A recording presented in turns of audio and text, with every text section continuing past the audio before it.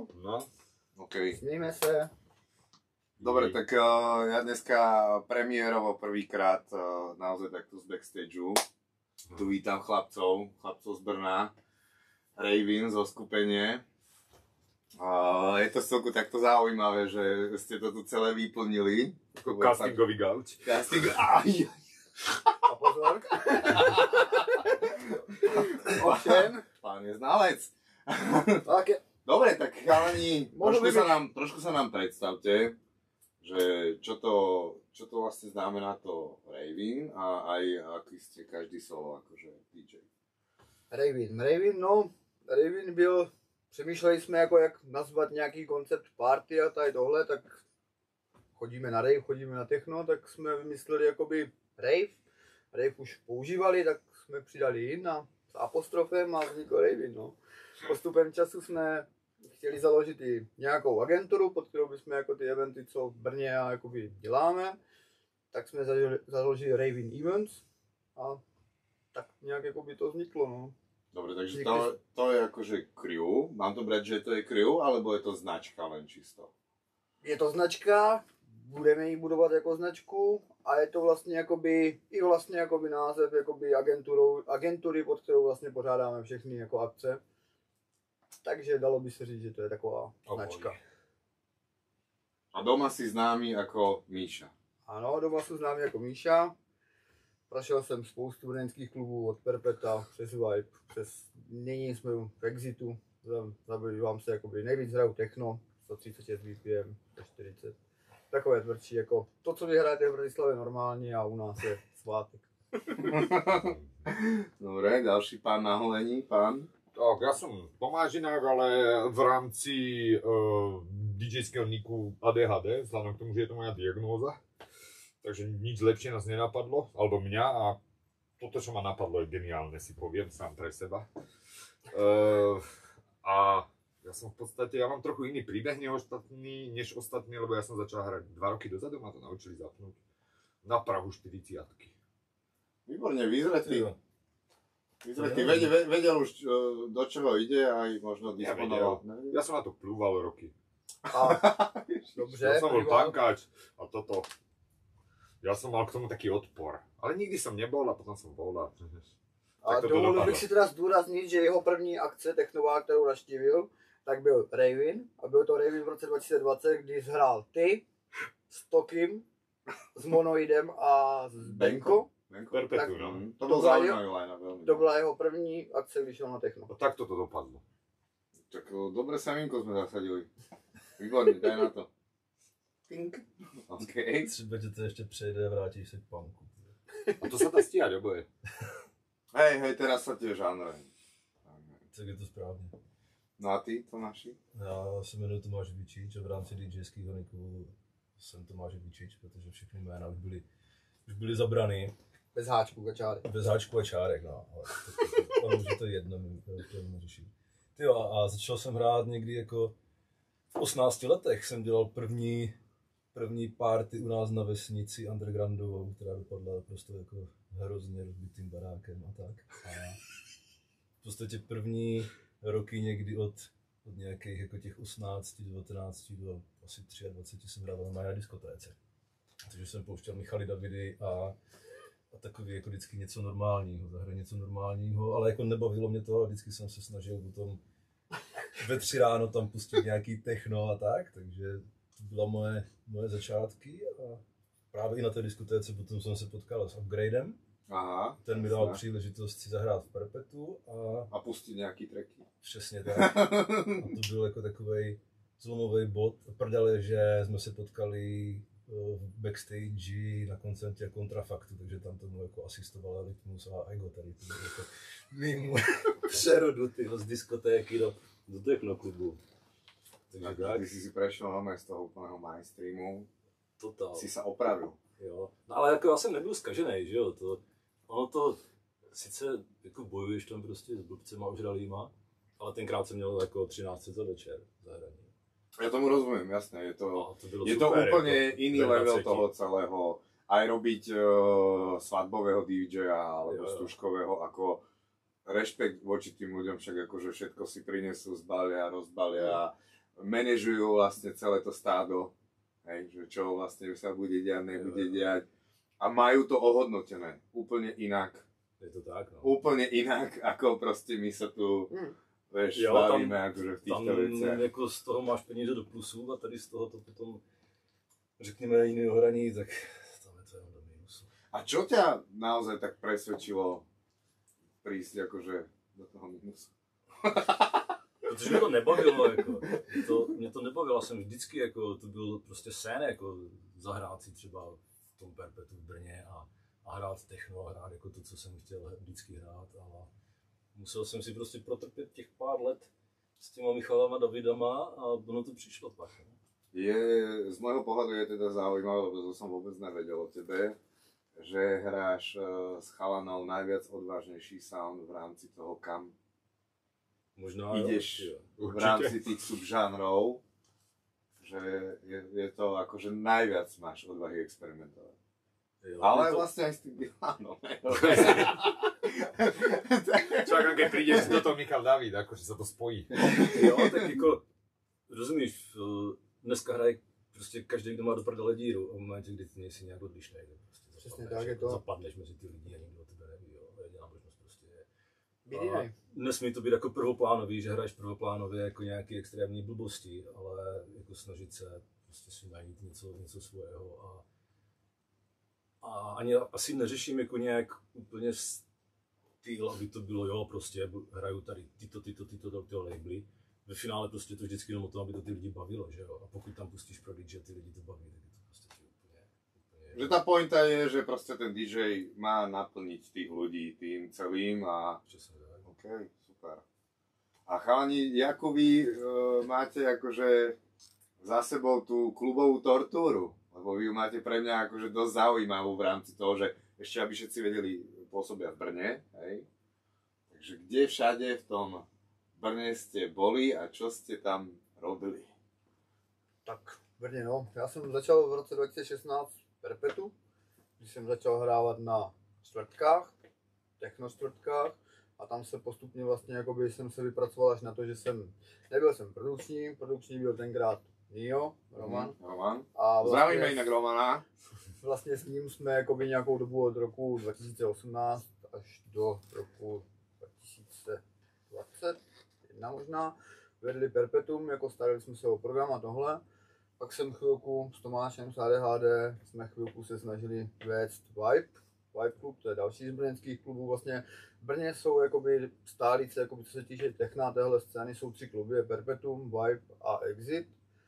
A my jsme teda působili potom spolu chvilku ve Vibe. Vibe už není. Vibe už dneska není a nebude, tam jsme si jako užili svoje, tam jsme jako si dost zažili jako různých zážitků Škola a, života, a no. školení toho, jak se vlastně jakoby spíš scéna dělat nemá. A teď jsme vlastně jakoby oba i s naším projektem jako s Ravinem jsme v Exitu, fungujeme tam, prostě děláme party a ještě jakoby externě, jakoby, nebo ne externě, ale pod agenturou Raven se zabýváme jakoby našima partama, dělali my jsme ve městě, na náměstí různý minulý rok. Tento rok nic takového neplánujeme, máme tam teďka, budeme mít na začátku na Ventolina, to je trošku taky undergroundová scéna. My ho tu poznáme, akože Ventolin chodí aj sem, je obľúbený. Jo, a takže 13.5. budeme mít na hradě Špilberg, budeme mít Ventolina s jeho live setem a asi vše, co bych tak k tomu mojemu postupu nebo jakoby průběhu kariéry řekl. Lebo uh, ja si vás dvoch, konkrétne pamätám ešte v rámci Dirty Tripu, alebo tak? že tam Dirty Trip si- ne, uh, pohybovali jsme se tam jakoby v Perpetu, ale Dirty Trip vedl Nio a Karlovi. Ale vlastne, áno. A Karla som úplne zabudol. No, vidíš to, ty. Na Karla, pán, pán Splacek. No, No. Jako už nehraje, nebo jako hraje, ale úplně minimálně. úplne minimálne.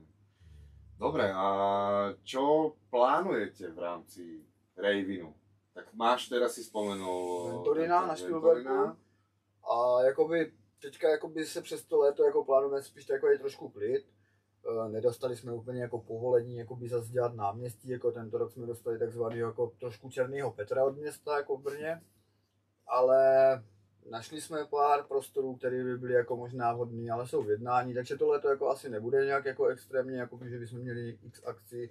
spíš se teďka věnujeme tomu Ventolinovi a na podzim jakoby plánujeme nějaký jména do Enter klubu a do Exitu. No a teraz pre mňa filozofická otázka. Jak je to s tým technom v Brne? Lebo u nás dlhé roky, dlhé roky bolo, bolo také vnímanie, že, že však keď ideš hrať do Čiech a ideš hrať do Brna, tak proste to je, to je, to je druhá meka techna. To bylo, To bylo perpetuum. Byla. Uh, Bylo. Ne? Aspoň Jako- ale to došlo do toho neskôr. Jako za mě No. třeba dřív to bylo tak, že Praha bylo dance, Brno bylo techno. áno. A teď Jo. je prostě Praha techno a Brno nic, jo. Bylo, Tak bych to řekl asi. Ale tam to bylo způsobené spíš tím, že jakoby prostě v Brně se pořádali velký party. Pořádal se samozrejme. Tak. Pořádal se Bass Blaster, byla Apokalypsa a prostě to bylo jakoby, to bylo to, co vlastně Brnu dělalo to jméno, tou mekou jakoby Ano, ano. techna a tady tohle. Uh, Bass Blaster už není, Apokalypsa se vede jak se vede a vlastně Se jakoby spíš nevede. se spíš možná nevede a začalo jakoby prostě to začali dělat kluci z Exitu, začali oni začali s tím, že začali dělat hrady a tady tyhle věci, tak tím se to vlastně jakoby scéna v Brně, ne až tak ani po celé České republice, ale v Brně se přesunula do toho houseu, melodic techna a tady tohle, takže u nás prostě na brněnské scéně, jakoby když chceš hrát něco z tvrdšího techna, prostě rap, hypnotic techno nebo něco takového, tak s tím moc neuspíváš, protože lidi jsou naučení, jednak jsou rozmlsaní z velkých jmen, co jakoby se do Brna zvou a jsou to většinou jakoby ti spíš ti houseový a melodic a prostě techno a tady tyhle věci. Takže jako u nás v Brně se ti nevyplatí udělat jméno, co je prostě z tvrdšího techna. Takže ľudia, počúvajte teraz tú anomáliu, že proste v Brne konkrétne, keby sa spravil line-up, kde by sa hralo 145 BPM prvý DJ, tak ten by aj tú party rovno zavrel. Asi ne, jako prostě fungují No, tam, fungují takhle. tam party uh, mimo kluby. Jo, když máš Mhm. prostě To- jednou, to- jednou za tři měsíce máš nějaký rave někde, Dobre, ale to je tá výnimka. to je ta velká a, prostě, a, ty, a ty lidi tam natáhneš, ale jako, v, že by to fungovalo tak, jak třeba u vás, jako na pravidelné bázi, že by z klubu hrával techno, tady toto techno a fungovalo to, tak to prostě tam není. Jako to je- Radosť by tam už bola zavretá. Ano, Jo, určitě. No jako funguje to, funguje to v takovém stylu, že když hraju v Brně, hraju doma, v Brně, v Exitu třeba nebo kdekoliv, tak přemýšlím, jestli nehraju moc rychle, aby lidi neutekli. A když přijedu hrát jsem do radosti, tak přemýšlím, jestli nehraju moc pomalu, aby lidi neutekli. Jako tam Takže se to, takový ten paradox toho, že vlastně jako u nás máš Furt jakoby- pohodu. u nás máš, tak jako, jo, je to takový paradox toho, že vlastně u nás, když jakoby přemýšlíš nad tím, sakra nehrajou moc rychle, aby to vlastně ti lidi to Aby to publikum jako zvládali. A tady vlastně, když hraješ, jakoby spousta návštěvníků dělom, co je za ten, za to plexisklo a řvou na tebe, že hraješ pomalu, tak si pak říkáš jako, je tady jiná scéna, je o hodně jiná, je o 180 Prostě stupňů jiná než u v nás. klubech to nefunguje. Jako A prečo si myslíš, že to je? Je to obraz toho, uh, kto je kto je ako keby ten vedúci toho klubu a aký žáner Já myslím, propaguje? že tam se to prostě úplně jako uh, rozdělilo ty skupiny těch, těch lidí, jo? že ti lidi, kteří fakt jako ti přijdou na takový techno, poslouchají takový techno, tak ty prostě do klubu nedostaneš Mhm. a, a hotovo, jo? oni půjdou prostě Pôjdu náhrady, hej, alebo tak. Či- nebo na nějak, jo. do nějakého Mhm. skladu někde na nějaký jednou, To je zase, jednou to za je čas. zase druhá jiná skupina lidí. Ale že tam prostě se to úplně, úplně rozdělilo a tyto lidi ty do toho klubu, klubu prostě nedostaneš a ty lidi, co jsou zvyklí chodit třeba do toho exitu, do toho klubu a ty pouštíš tady něco takového, nebo tam dovezeš nějaký takový jméno, tak to prostě tam nefunguje. A sú potrebné tie mená, že? Jako, když to som řek- počul, že už je to tak akože až, až, až rozmaznaní sú tí ľudia, hej? Asi jsou, jo. Jsou, lebo jsou, jsou. Jo, ale třeba tady s tímto mám pocit, že i kdyby si prostě prdeli zlomil a dovezl tam nějaký takový jméno, tak ty lidi tam nedostaneš. No. Nedostaneš. Tak vez- vezměme si, jako byl před třema, čtyřma týdnama byl eh, Ben Sims. No. Ben Sims jako svýho času, svýho dnešního už možná ani ne, ale nechtěl bych ho nějak urazit. Za mě to bylo výborné. Hrál výborně, dlouho jsem neslyšel, aby někdo hrál takovej set, prostě to, co hrál on, on hrál jako neskutečně, ale prostě do 250 lidí. Ne, bylo víc, ale určitě nebylo vyprodáno. Nebylo, ne, prostě A nebyl ten vyprodaný Enter- klub o 700 lidech, jako No. prostě, Mhm. no. Ani Což- náhodou. Což svýho času jako Ben Sims určitě dokázal. Ne, to je taky, že automatika tam bude plná, hotovo. Není. Dneska už jako v Brně si nemůžeš zvolit jméno, jako že pozveš Klaudiu Gavlas. Klaudia Gavlas v roce 2018 byla v Exitu a měsíc před akcí nebyla vyprodaná klub o 250 lidech. To by měla být jako německá ikona techna, no, ale jako, je to o tom, že vlastně jakoby jednak si, jsou ty lidi rozmlsaní, jakoby tohle. My byla u nás v Brně doba, kdy jsi prostě jako si mohl každý víkend vybrat, že půjdeš na nějaký větší technový jméno nebo prostě dramíkový, pak, toho prostě bylo hodně. A ty lidi si na to prostě jako navykli s tím, že vlastně jakoby ani to vstupní se nedrželo nějak vysoko, protože vlastně jakoby to bylo, co 14 dní bylo nějaký větší jméno, tak se drželo vstupní jakoby při zemi.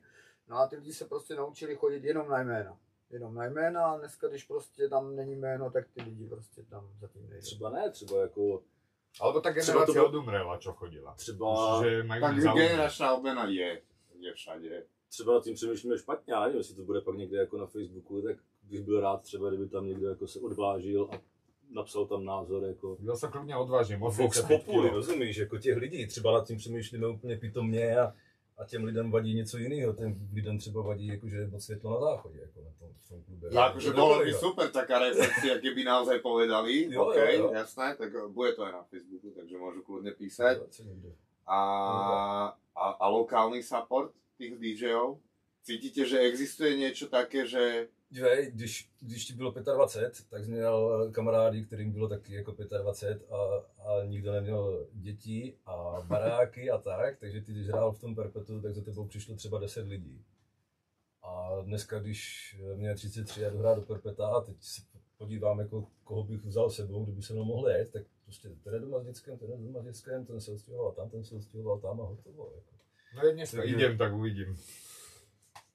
Aspoň já to tak mám. Akože dobre, OK, to sú ľudia, ktorých osobne poznáš, ale mm, dám len malú, malé porovnanie, že ja vnímam, že sem tí ľudia chodia na viac line-upy akože domácich DJov, Mhm. lebo ako keby uh, majú radšej tú istotu, Mhm. že vedia, že ten hrá to, ten hrá to, ten hrá to a idú vyberať si cieľene, že a vôbec im nevadí, že to není zahraničné meno. Práve im o mnoho viac vyhovuje, že už vedia, čo príde. Lebo to Asi, no. zahraničné meno veľakrát, akože poviem to tak, no skôr sklame. Mhm. Hm. Veľakrát sa to stane, že skôr sklame. Asi jo, ale tak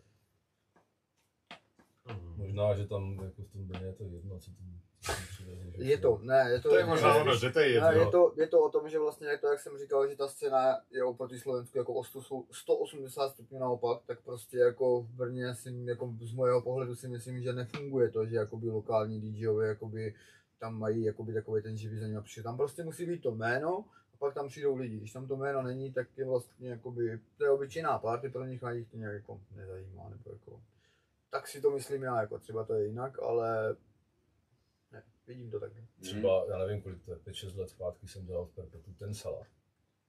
A to si mi spomínal. Inak akože on bol jeden z mojich, že či by som ho doniesol. No. Přišlo tam 50 lidí prostě a zahučil jsem na tom gatě a to jsem jako takových akcí dělal víc. A potom prostě zjistil, že do toho jenom sypeš peníze. A ono to funguje tak jako, že jo, ty jdeš ven potom s tím ten sál, jo, super. A teď na Facebooku ty všichni tě plácejí po zádech v komentářích. No, Jo, super, Ale super, man. nejde, Konečně. konečně. Ale potom, když je ta party, tak my sedí Tak doma konečně nikdo nevyšel. a kouří na balkoně, jo, takže. Sú to nervy, no, sú to nervy. Keď, keď to proste dopadne takto jedenkrát, druhýkrát, už potom nemáš chuť uh, ísť takto akože experimentovať. A necháš sa radšej teda zavolať ako DJ, ako Přesně niečo tak, riešiť, jako- ako V promotér. podstatě už jsem jenom jako konzument tady tohoto, že, že dostanu někde čas a aktivně už nevytvářím. Čiže v tom Brne mm, sa nedá nejakým spôsobom predpokladať, že čo je akože ESO.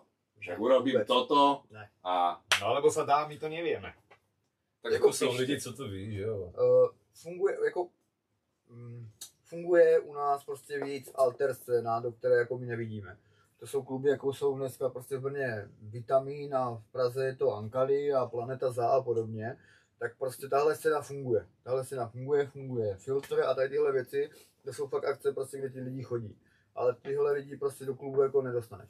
Jo, oni ti Mm, prostě, že je to čo si oni ja žije prostě svoj nepůjdou. vlastný život. Áno. jo. A já stejně tady půlku těch lidí, co chodí tady na takové akce, podezřívám z toho, že, že to je jenom póza, jo? že oni prostě nejdou na to, aby tam, že si poslechnou něco, ale prostě oni se hodí do černého a, a jdou tam a jsou rádi, prostě, že jsou tam. Ne všichni.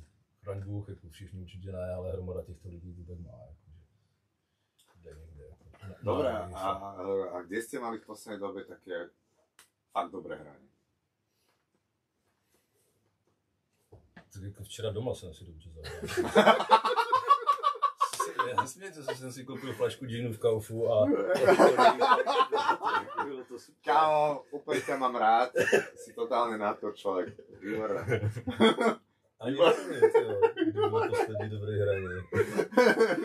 Ne, jako moje poslední doby, jako, nebo kde jsem si fakt dobře zahrál, tak byl Technogang v radosti. Uuu, to, to tak Jo. mi nahráš? No. Fakt? Že hej, že je tu? Ja som si normálne najlepšie zahral pred týždňom v Exite. O, čo tam bolo za akciu? Uh, lineár. Linár hra, tam mali. jasné, jasné.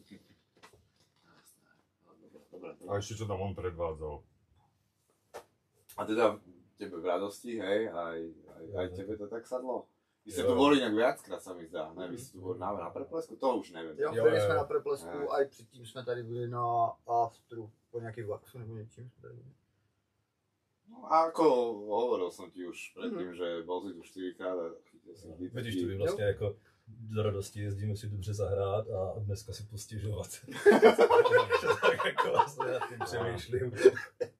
Kruh sa Ale uzavrel. zase, zase chalani, uh, môžem to aj trošku teraz otočiť. Všetky tie štýly, ktoré ste spomínali v rámci toho melodiku, houseu a podobne, tu majú presne opačnú pozíciu. Což je super, no. Že proste spravíš melodík, uh, príde sem 50-60 ľudí, je to ťažké, proste nemá to komunitu. House, musíš mať silného lídra, hej, na to, aby proste tých ľudí akože sem dotiahol a, a je, zase mne sa na to zle pozera. Keď je to úplný technomonopol, Jaj. úplný technomonopol, hej, a, a potom vidíš, že všetky tie ostatné štýly sú akože na polovičnej úrovni a si rád, že to Mhm. bolo tak, tí promotéri, bolo to dobre, vieš, že proste nechcú, aby to skončilo, ty to teda nejako držíš, aby to bolo, lebo zase hovorím si, že nemôžem niečo úplne odseknúť a Jasne. tváriť sa, že, že ne. Ve finále bys byl potom sám proti sobě. Ve finále by som bol sám proti sebe, ale je to, je to zaujímavé, že sme od seba koľko vzdialení? 100 km? Ja som to prespal. Hodinu a půl cesty. Hodinu a pol cesty a že akože naozaj žijeme dva svety. Hej? Je to tak. Kvázi. Je to tak? Jako, proto říkám, jako, proto se jako vůbec nedivím tomu, že můžu říct, jako, že nejlepší moje hraní, jako, kde jsem si nejlíp zahrál, bylo tady, protože kdybych takhle hrál v Brně, tak ty lidi tam prostě na to nejsou, to publikum tam na to prostě není. Jak to tady vzniklo takový publikum? Hezky vychoval. Hezky vychoval, no. A to by bolo ľahko takto povedať. Ja si myslím, že v Slovákoch to je akože zakorenené už od toho účka. Jo. Hej, že od toho účka a od Tokyho, od Lopti bradu, že to tak akože nejak začalo. A že dneska sú tu síce mladí ľudia, ktorí počúvate ma, ani nevedia, kto je Toky, ani Lopti Mm. brada, ani Boss. Že proste to sú mená, ktoré o, dneska nič pre tých mladých ľudí neznamenajú, ale nejako sa to prenieslo. Nejako sa to prenieslo. Je tu nová vlna DJ-ov, ktorí proste chodia, hrávajú. Ale je to viac takéto komunitné, no. Že ja Mhm. napríklad vidím, že tí ľudia proste sledujú konkrétne tých slovenských DJ-ov. No, a, a, a len cez to funguje, že, že je to naozaj akože teda to komunitné. No, neviem, To je super. tak povedal. Vy jste pak taky měli platit nějaký dividendy tady za to samé.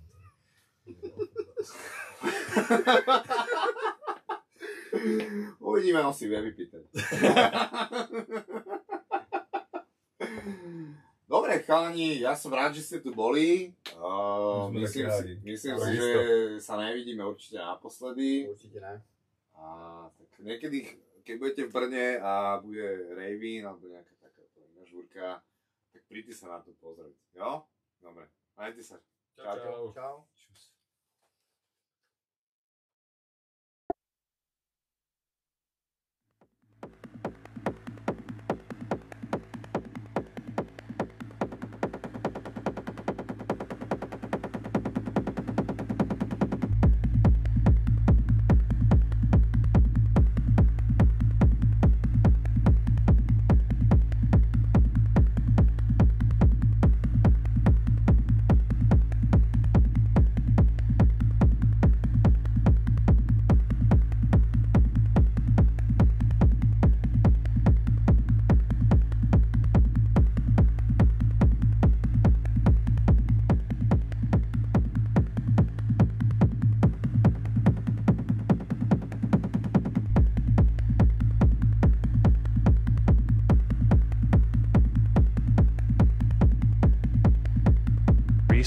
Was looking through a men's magazine, and there was this big article in there about how to be a man.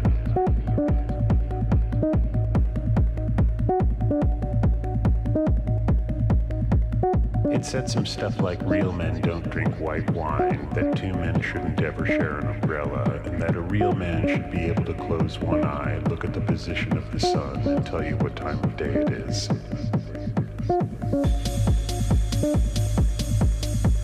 When